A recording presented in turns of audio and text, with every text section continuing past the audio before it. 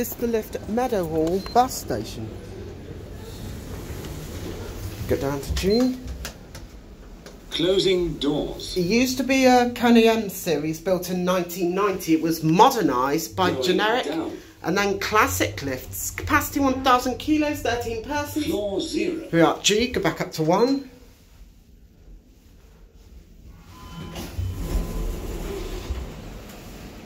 Opening doors. Closing doors. Going up. Floor Here are back at 1.